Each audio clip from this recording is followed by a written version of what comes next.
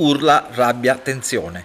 Lo zingaro questa volta ha perso la testa e quando gli agenti della polizia municipale si sono recati questa mattina in via Conte Agostino Pepoli per sequestrargli la merce è andata in escandescenza.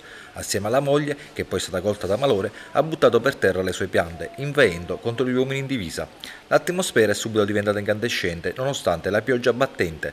Poi l'arrivo del capo dei vigili urbani Biagio Delio, presente anche il vice sindaco Giuseppe Licata, ha calmato gli animi. Giuseppe Guarnotta, di 59 anni, meglio conosciuto come lo Zingaro, ha la licenza di venditore ambulante, ergo non può stazionare in via Conte Agostino Pepoli, nei pressi dell'omonima villa, dove invece ha realizzato un vero e proprio punto di vendita, occupando abusivamente il suolo pubblico, ma dovrebbe spostarsi da una zona all'altra, con sosta non superiore a 60 minuti.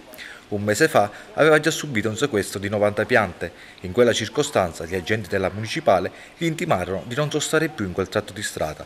Lui però da lì non intende spostarsi. Così questa mattina è scattato un nuovo blitz dei vigili urbani, impegnati, come sostiene il comandante Biagio Delio, in interventi a sostegno della legalità in ogni parte della città per reprimere il dilagante fenomeno dell'abusivismo nel settore del commercio.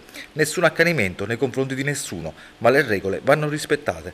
Adesso Giuseppe Guarnotta assieme alla moglie, oltre ad aver subito il sequestro e la multa, rischia la denuncia per resistenza pubblico ufficiale. E mi hanno fatto un sequestro avendo una licenza ambulante, avendo una licenza ambulante e ho fatto sempre delle richieste verso lo pubblico e mi dicono che non è intercettata alla zona questa richiesta, questo è solo pubblico e mi mandano sempre a quel paese.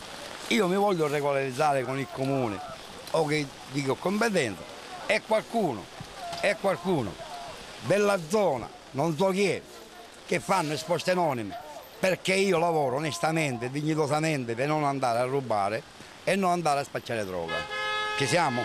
E allora vengo di un passato, mi sto riabilizzando nella società, con questa crisi che c'è, questi signori, o di pure, o chi è scontabile, mi stanno mandando di nuovamente a rubare, avendo una licenza ambulante e scontrini fiscali. Ci siamo?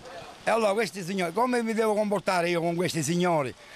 Lo tengo pulito, lo lavo, lo faccio, lo dico, ci lascio il passaggio pedonale e loro continuano per l'ennesima volta a sequestrarmi la merce che io la devo pagare.